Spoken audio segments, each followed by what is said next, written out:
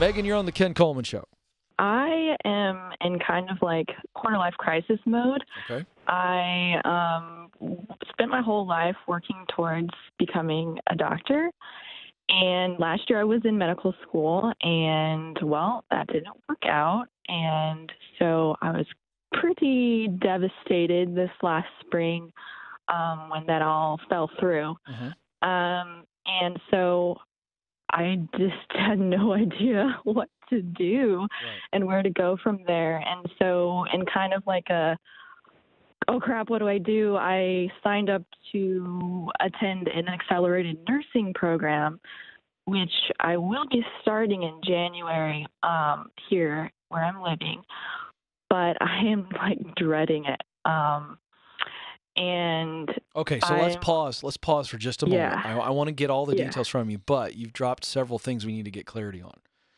yeah, Real quick, why did med school not work out? Well, I failed a course, and then I was like, they talked with my, I was talking with my advisors, and they're like, yeah, like, we just don't want to see you go through this and not succeed long term, like with further, like, um, Because like you the, failed- The, the difference. Hold on. Well, Be- not one class. It was more than one class. So Oh, okay. I was struggling. Okay, so hold on. So this is important. Yeah. So you were struggling academically, and your advisor said, "We Mhm. don't think you need to go forward. This is not necessarily a good decision for you." That's what basically. Yeah, were, they were they were trying to help me make a good decision and not waste my money and stuff right. like that. However, however, then the other thing you said is that you were devastated. So it wasn't like you were relieved. Yeah. You were hurt. You were bummed because this was. Oh, Yeah. Yeah. Why? Tell me why. Tell me why in your words. Um, I think it was because like since I was 15, I like had this whole like thing with God where I was like, "Hey God, like what do you want me to do with my life because, you know, I'm 15 and I'm supposed to have everything figured out." Mhm.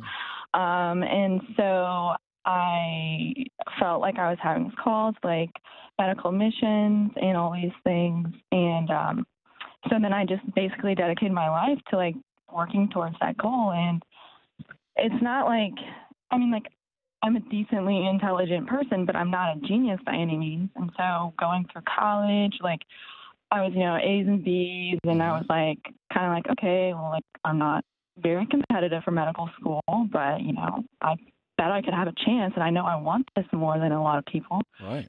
And so I ended up applying, and then lo and behold, I got accepted. Like I wasn't expecting it at all. Like I was like, wow, this is amazing. This has to be a God thing.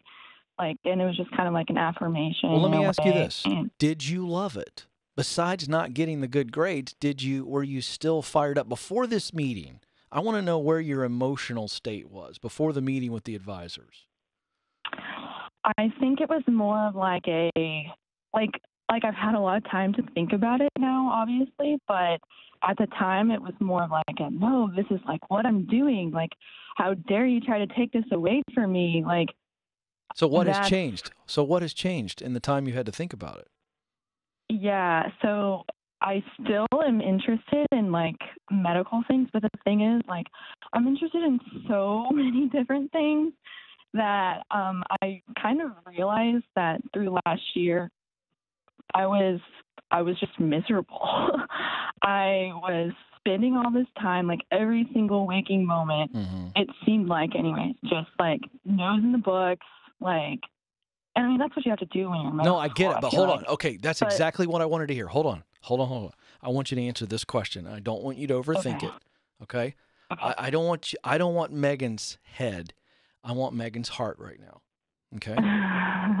if school listen if you didn't have to go to any more medical school classes if you had not struggled with all of that stuff that you struggled with because despite your struggles megan you still were a little bit like wait why are you guys telling me i shouldn't do this? Now after the fact you said you were miserable and maybe that's true on some level. Some of the core stuff was miserable but the idea of helping people through medicine i'm not sure that's gone anywhere so here's my question yeah. straight up. If I could just wave a magic wand and put you on the mission field or in a small community or I I don't know where it is, and you could just help people through medicine, would you want that? Would you say, yes, Ken, sign me up today? Ugh, give me no more classes. I just want to help people. What's the story? What's the answer? I would say a hesitant yes.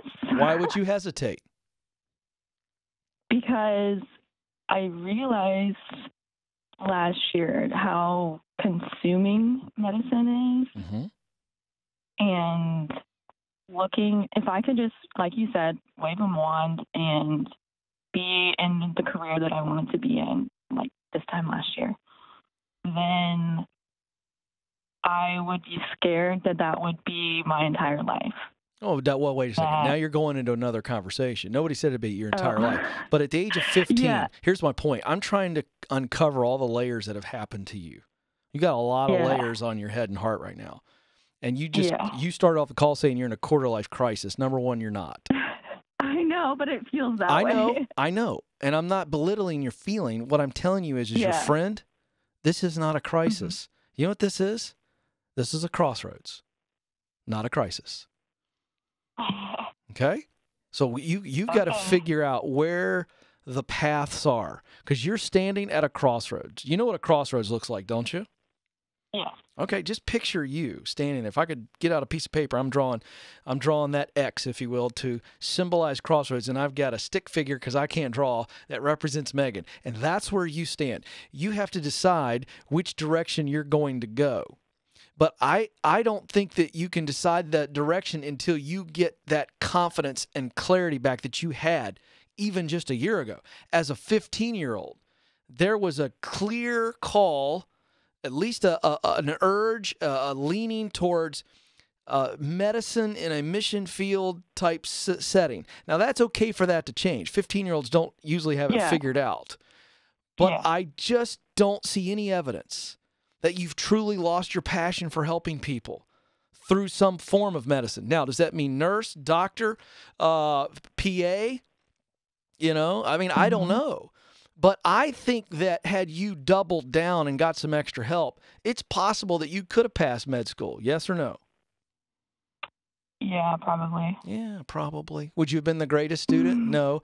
But there's always a last person in a medical school graduating class.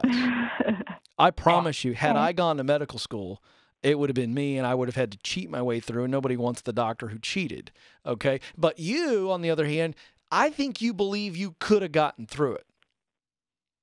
And I think Uh. you've got to listen to the heart response that when that advisor or advisor sat you down and they said to you, uh, we don't think you should do this. And your first reaction was, What? You're going to take this away from me? That's what you said. I don't think that's delusion. I think it's possible to not be the greatest med student, but be a great doctor. That's what I believe. Now, you're at the crossroads. So I think your exercise, here's your homework. Next couple of weeks, couple days. And by the way, you can call me back. In fact, you get clarity on what I'm about to ask you to clear. I want you to call me back.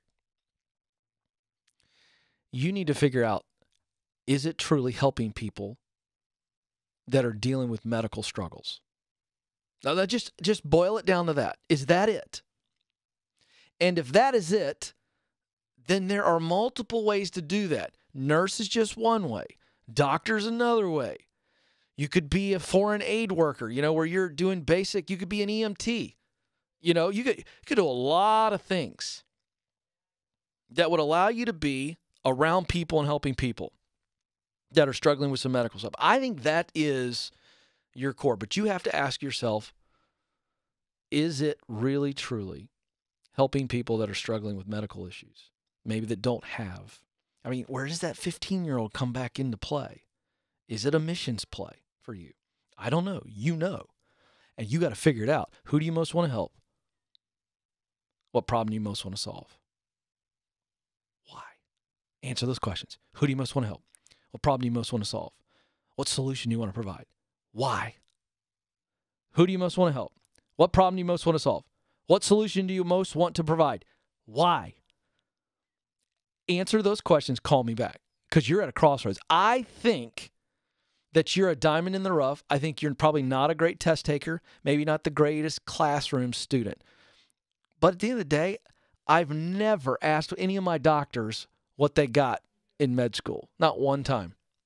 You know, it just hit me, man. It just hit me.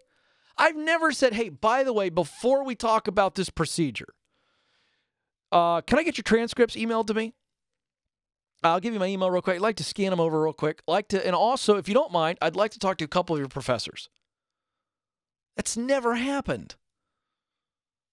Food for thought.